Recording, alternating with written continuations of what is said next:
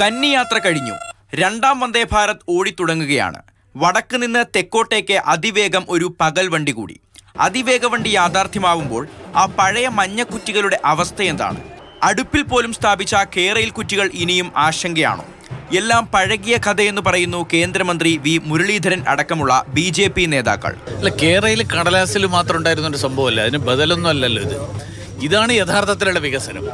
അതാണ്. അന്ന് സമരം നടത്തുമ്പോഴില്ലാത്ത ആവേശമുണ്ട് പുതിയ വേഗവണ്ടികൾ ഓടുമ്പോൾ ബി ജെ പി നേതാക്കൾക്ക്. എന്നാൽ മന്ത്രി വി അബ്ദുറഹ്മാൻ പറയുന്നു കേരളിന് ബദലല്ല വന്ദേ ഭാരത്. എട്ട് മണിക്കൂർ കൊണ്ട് ഓടിയെത്തുന്ന വന്ദേ ഭാരത് അല്ല നാല് മണിക്കൂർ കൊണ്ട് ഓടിയെത്തുന്ന കേരയിലാണ് നമുക്ക് വേണ്ടത്. കേരള സംവിധാനവും സിൽവർ ലൈനും നമ്മൾ പ്രഖ്യാപിച്ചത് നാല് മണിക്കൂർ സമയമാണ്. അത് രണ്ടും രണ്ടാണ്. നിലവിലുള്ള എല്ലാ ട്രെയിനുകളും ഇപ്പോൾ ഓടുന്നത് എട്ട് മണിക്കൂറാണ്. വന്ദേ ഭാരതിന് കൂടുതൽ വേഗതയില്ല. ഏഴേ മുക്കാൽ മണിക്കൂർ ഇപ്പോഴും എടുക്കുന്നുണ്ട്. കേരളത്തിന്റെ റെയിൽവേ വികസനം എന്നും കട്ടപ്പുറത്താണ്. പാത ഇരട്ടിപ്പില്ല റെയിൽ വികസനമില്ല വളവ് തീർക്കലില്ല ഭൂമി ഏറ്റെടുക്കലില്ല പുതിയ ബോഗികളില്ല തീവണ്ടികളുമില്ല. പുതിയ വണ്ടികൾ തീർച്ചയായും മാറ്റമാണ്. അതിവേഗ വണ്ടി അനിവാര്യമാണ്.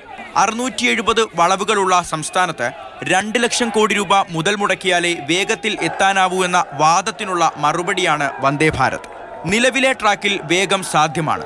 ആധുനിക പദ്ധതികൾക്ക് റെയിൽവേ തയ്യാറായാൽ മതി. പുതിയ ട്രാക്കുകളും പുതിയ വണ്ടികളും സാധ്യമാകട്ടെ. ജനങ്ങൾക്ക് അമിത ഭാരമാകാതെ തന്നെ. News desk Mathrubhumi news.